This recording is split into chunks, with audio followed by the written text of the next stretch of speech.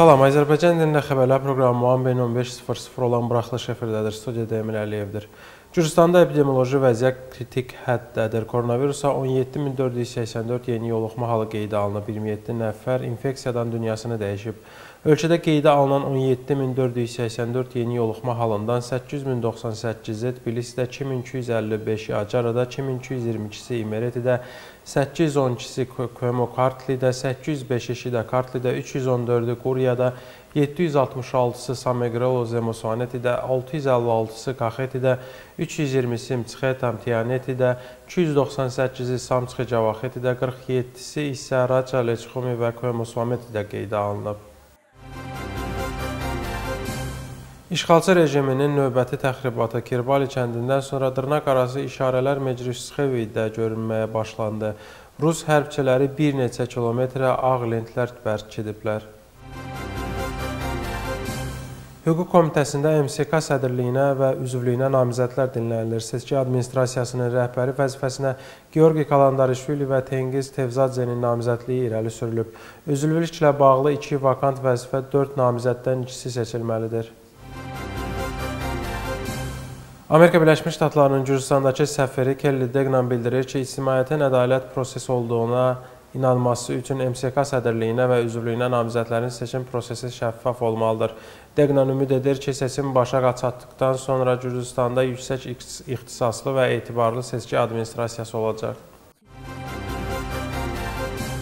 Parlament partiyaları Ukraynaya dəstək qətnaməsinin mətni üzərində razılığa gələ bilməyiblər. Dünən qanunverici orqanda iki iclas, iki iclas bağlı qapılar arxasında keçirilib.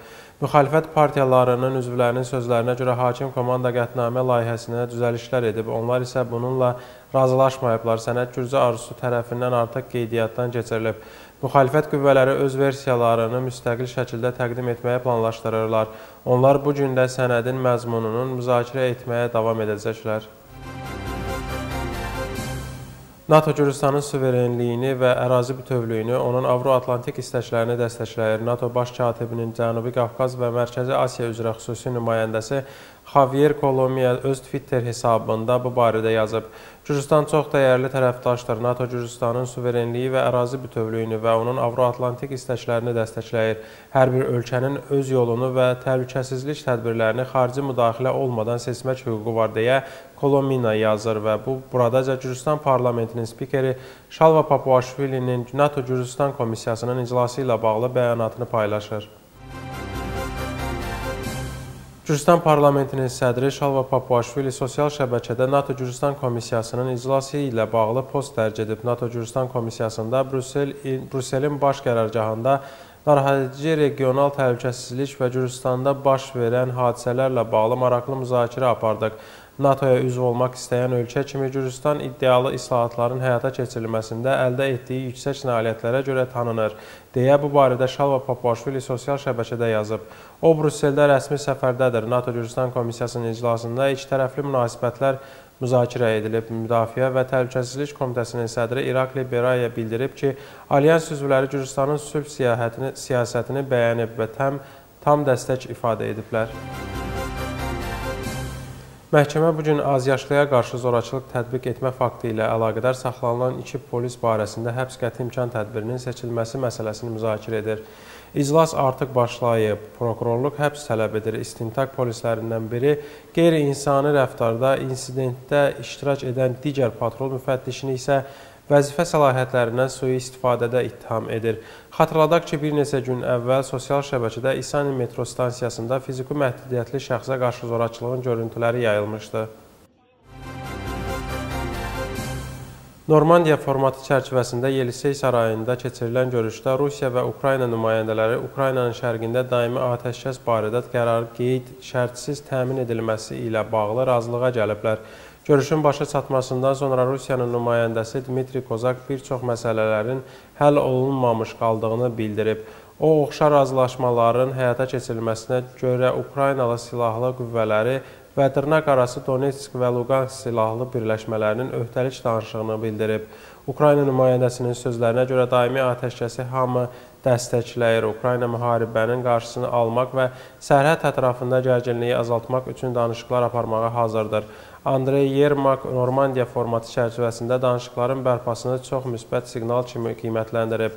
Ukrayna və Rusiya nümayəndələri üçün danışıqlar iki həftədən sonra Berlində bərpa olunacaq. Ukrayna sərhədində səfərbər olunan Rusiya hərbçilərinin sayı 100 mini keçib.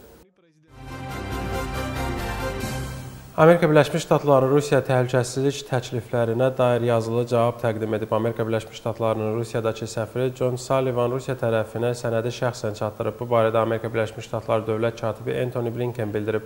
Blinkenin sözlərinə görə Rusiya bunu seçəcəyi təqdirdə Amerika Birləşmiş Ştatlarının Rusiyaya təkliflərinə cavab verməsi ciddi diplomatik yoldur. Blinken Amerika Birləşmiş Ştatlarının yazılı cavabının Moskvanın qaldırdığı narahatlığa prinsipial və praqmatik qiymət olduğunu bildirib. Blinken Amerika Birləşmiş Ştatlarının dialoqa açıq olduğunu qeyd edir. Dövlət katibi yazılı formada təqdim olunmuş cavabın təfərrüatlarını şərh etməkdən imtina edib. Onun sözlərinə görə Amerika Birləşmiş Ştatlarının cavabı Vaşinqton və NATO-nun açıq şəkildə dediklərini, konkret olaraq NATO-nun açıq qapı siyasətinin qorunub saxlanılması və Moskvanın NATO-nun Ukraynanı heç vaxt üzv olmamaq, özv qəbul etməməsi ilə əlaqədar tələbini rədd etdiyini təsdiqləyir. Anthony Blinken Amerika Birləşmiş Ştatlarının NATO-nun açıq qapı siyasətindən əl çəkməyəcəyini bildirib. Dövlət katibi ümid edir ki, Rusiya onların mövqeyi ilə razılaşacaq və onların təkliflərini ciddi qəbul edəcək. Avropa İttifaqının xarici və təhlükəsizlik siyasəti məsələləri üzrə ali nümayəndəsi Joseph Borrell sosial şəbəkədə Amerika Birləşmiş Ştatlarının Rusiyaya göndərdiyi yazılı cavaba münasibət bildirərək Rusiyanı təkliflərinə razılaşmağa çağırıb. Mən dövlət katibi Blinkenin Rusiyanın təhlükəsizlik təkliflərinə yazılı cavabını alqışlayıram. Diplomatik yol Ukrayna və Avropa xalqlarına yeganə uzun müddətli həll yolu təklif edir. Mən Rusiyanı bunu qəbul etməyə çağırıram. Avropa İttifaqı və Amerika Birləşmiş Ştatları öz yanaşmalarında yetişdildir, deyə Borel yazır. Rusiyanın Ukraynaya müdaxilə edəcəyi təqdirdə Amerika Birləşmiş Ştatları Şimali Axın layihəsinin irəliləyə bilməməsini təmin etmək üçün Almaniya ilə birlikdə işləyəcək. Bu barədə Dövlət Departamentinin sözçüsü Ned Price bildirib. Mən təfərrüatlara daxil olmayacağam. Layihənin irəli getməməsini təmin etmək üçün Almaniya ilə birlikdə işləyəcəyik deyə Price bildirib. Lakin Almaniyanın bu addıma razı olub-olmadığını dəqiqləşdirməyib. Ned Price qeyd edib ki, bu kəmərlə qaz tədarükü hələ ki həyata keçirilmir. Rusiya öz qüvvələrini bu ölkələrin razılığı olmadan yerləşdirdiyi Ukrayna, Gürcüstan və Moldovadan çıxarmalıdır. Bu barədə NATO-nun baş katibi Jens Stoltenberg xüsusi mətbuat konfransında bildirib. Onun sözlərinə görə Rusiya müttəfiqlərə və digər ölkələrə qarşı aqressiv ritorika və zərərli hərəkətlərlə son qoymalıdır. O bildirir ki, Avro-Atlantik təhlükəsizlik kritik məqamından keçir. NATO-nun baş katibi Rusiyanı vəziyyətin dərhal deeskalasiyasına çağırıb. Onun sözlərinə görə gərginlik və fikir ayrılıqları güc yolu ilə deyil, yalnız dialoq və diplomatiya yolu ilə həll edilməlidir. Jens Stoltenbergin sözlərinə görə NATO üç əsas sərhədə sahədə irəliləyişin mümkünlüyünü görür. Birincisi, bu Moskvanın diplomatik əlaqələri ləğv etməkdə kəsdiyi NATO-Rusiya münasibətlərinin bərpasıdır və bu da tərəflər arasında dialoqu çətinləşdirir. İkincisi, bu Avropanın təhlükəsizliyi, o cümlədən Ukrayna və onun ətrafında vəziyyətdir. Üçüncüsü isə risklərin azaldılması, şəffaflıq və silahlara nəzarət sahəsidir.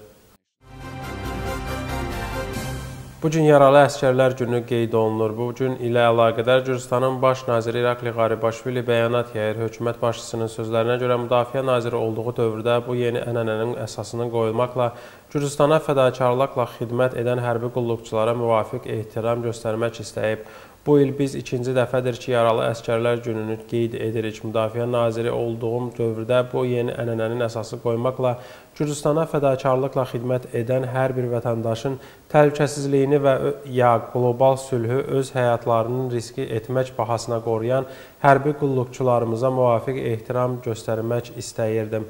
Gürcü hərbi ənənələrinin ləyaqətlə davam etdirən, gələcək nəsillərdə örnək olan hərbçilərə və onların ailə üzvlərinə qayğı göstərməyi hökumətimizin əsas vəzifəsi hesab edirik.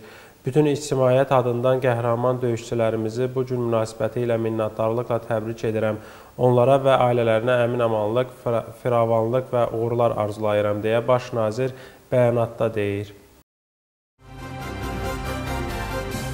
Bu sizə 15.00 üçün çatdıracağım son xəbər idi. Sizinlə 18.00-a qədər sağollaşıram.